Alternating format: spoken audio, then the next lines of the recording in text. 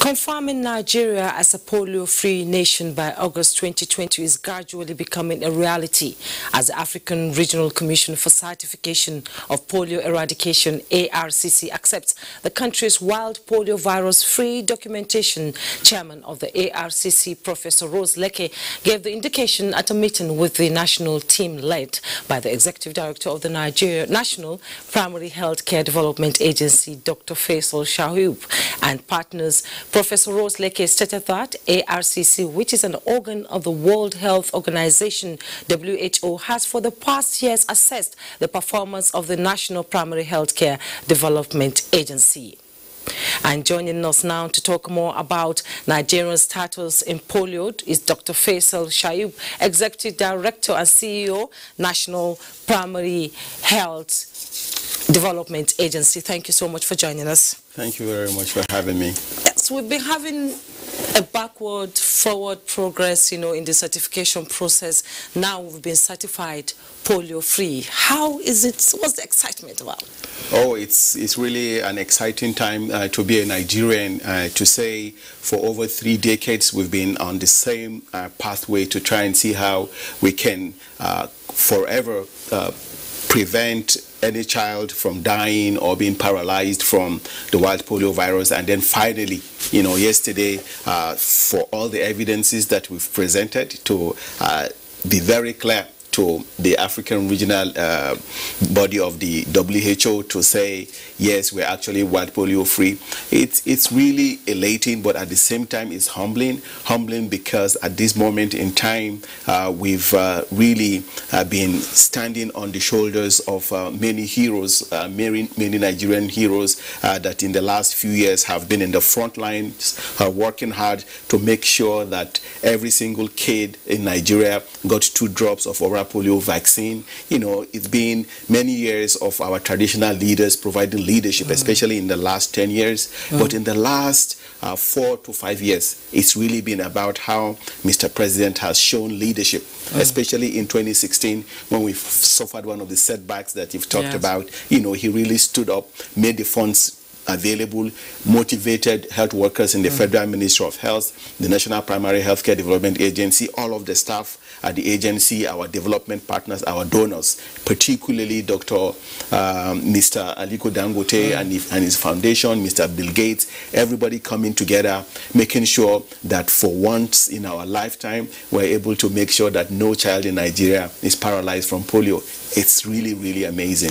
You know, we were three, Nigeria, Afghanistan, and India, and we sort of beat them to it. How can we maintain the status quo? Right, we have to just not only do more of the same things, but actually raise the ante.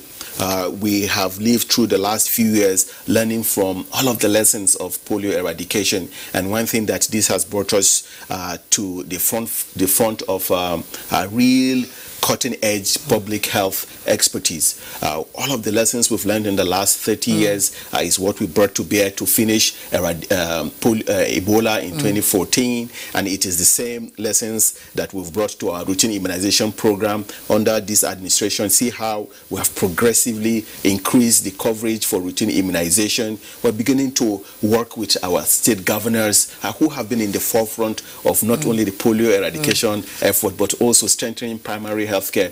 So we're not going to be complacent. Mm. We're going to use the same types of uh, lessons around uh, delivery, around ruthless execution holding people accountable. That is what brought us here, and this is exactly what we're going to be doing in the next few years until we address some of the major issues that continue to bedevil us, the underfunding of primary health care, uh, you know, in the states and mm. local government areas, uh, making sure that people uh, know for certain that you need to give your kids vaccines, you have to take them to the primary health care centers, secondary and actually tertiary health care centers because vaccines do work. This is for the doubters, you know, that vaccines and all actually the controversies, do work. Yes. Absolutely. So briefly, we're running out of time. Um, post COVID-19, what next for polio? We're just uh, post COVID-19. Uh, we're going to see a different world where maybe not so much of contacts will be required, but we're going to be even more careful, making sure that the health of our clients are protected, uh, making sure that health workers are safeguarded and they feel confident that they can provide services without the fear of being infected uh, by COVID-19. and that is why we're sort of restructuring and reimagining primary healthcare delivery. Mm. And we're excited about what the future uh, holds. We know that these are difficult times for, uh, for us because of the outbreak of COVID-19, mm. but I'm sure we're going to get over this and then we're going to look into a future where Nigerians will be very proud of the healthcare delivery that we've really laid out. It's an exciting moment we're in now. Absolutely. Thank you so much, Dr. Faisal Shuaib, Executive Secretary, National Primary Healthcare Development Agency. It's been a pleasure having you. Thank you for having me. Thank you so much. We'll take a break now. We'll be right back.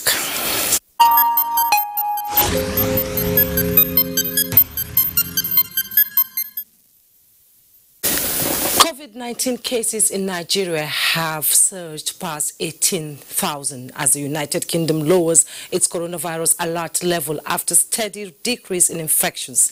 Let's join Joyce Ometu for latest developments on the pandemic.